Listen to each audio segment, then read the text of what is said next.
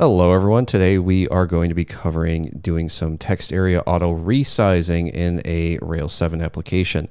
And before we get started, I just wanted to very quickly give a shout out to Import Maps for always working as expected. Uh, it couldn't find the package for this, so we're going to be using esbuild for this run instead, because uh, I've already wasted three minutes of my life that I'm never getting back, and uh, I'm just kind of full tilt about the whole uh, import maps thing. So I'm going to go ahead and close out of this existing project, and we're just going to do a Rails new, uh, well, I guess I have to remove that. So we'll say rm-rf video, and then we'll do a Rails new video, and we'll use dash J for esbuild and dash C for bootstrap. I, I just uh, I can't be bothered. Uh, so aside from my full tilt uh, entry into this video, what we're going to be covering is auto resizing a text area. Now this is one of those things that like seems it, it should really just work out of the box. Uh, but much to my chagrin, it does not, uh, and it requires a little bit of JavaScript to make this work smoothly.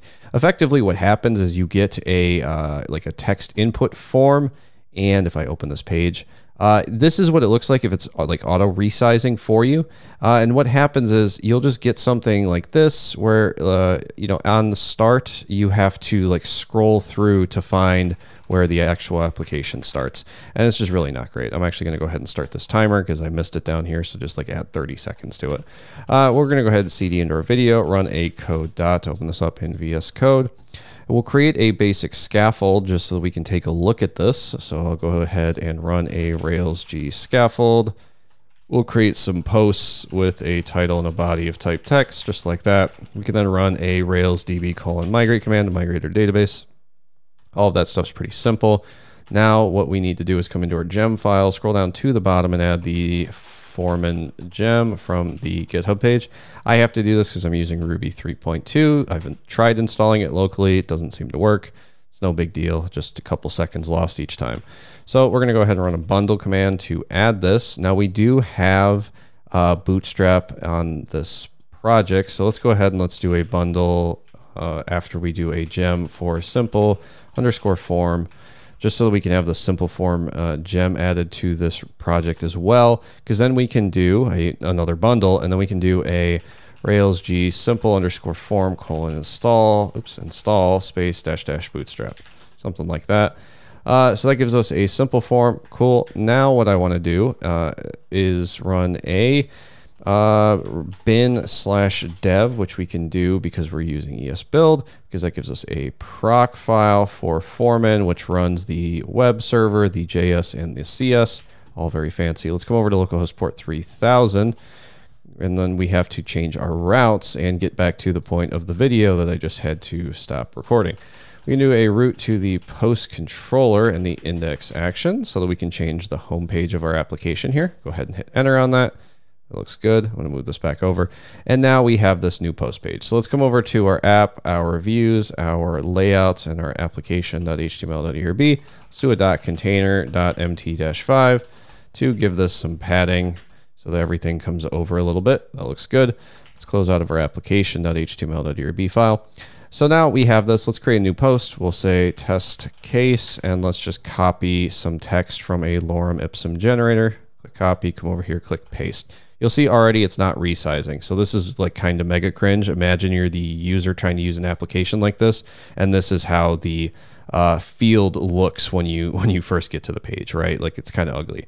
We'll click create post. It doesn't preserve our formatting, which isn't great, but that's not really the point of this video. The point is when I click edit, I don't want it to look like this. So to fix this, what we can actually do is, uh, well, first of all, I forgot to do the simple form stuff is probably why this looks so bad. But that's okay. What we're going to do is we're going to come in here uh, with this. We're going to stop the server, run a yarn add command. Oops, a yarn add command. And then if we come over to the stimulus component for the auto text resize, we can just copy this and paste in the stimulus dash text area dash auto grow. That'll add this package for us. We can then do a bin slash dev again.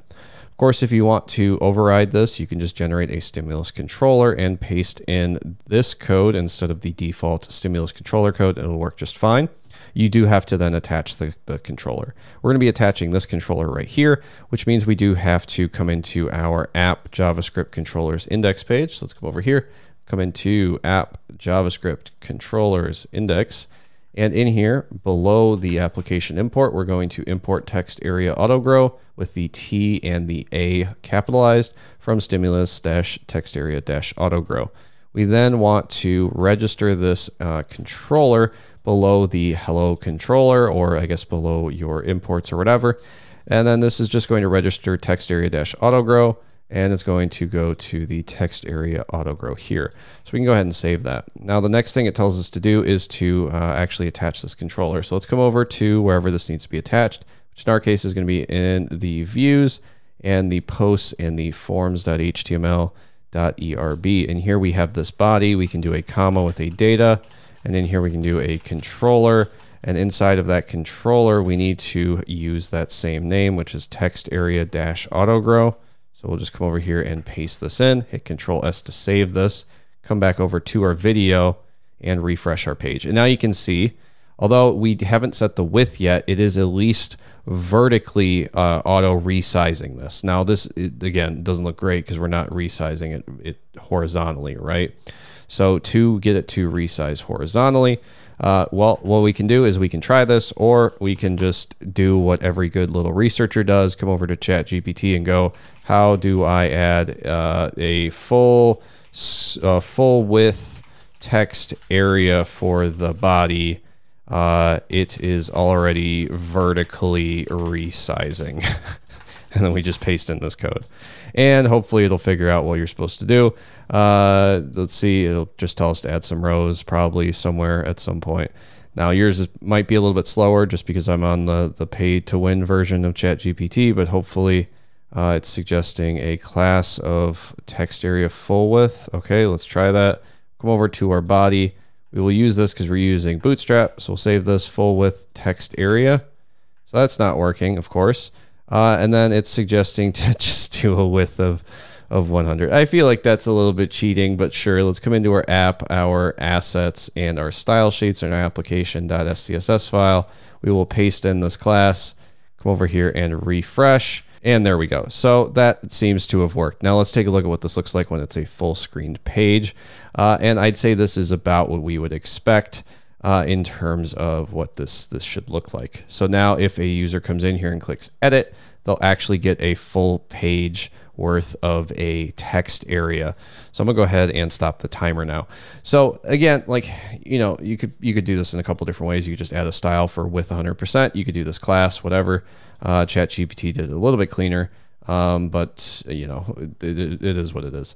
Uh, so the reason why we do this is it, it, I mean, first of all, it's just a lot easier to read, but also um, it is nice to have these things pre-built. Uh, you might be tempted to just pop in and create this JavaScript yourself to resize the text area. I can't imagine it's super involved. Uh, but if you're working like maybe with some clients or something else, uh, sometimes you're going to be creating like tons of different applications and you know you, you just need them to be up and running fairly quickly. And having these packages pre-built although you can do it yourself uh, you can save you quite a bit of time. And because it's something as simple as this uh, you should be good uh, to just use this package. If it does break you can always make your own uh, down the line. Um, but you know in general this is going to be something where it's going to be pretty hard for this to actually break in a significant way right? Hopefully it was interesting and hopefully i will see you in the next video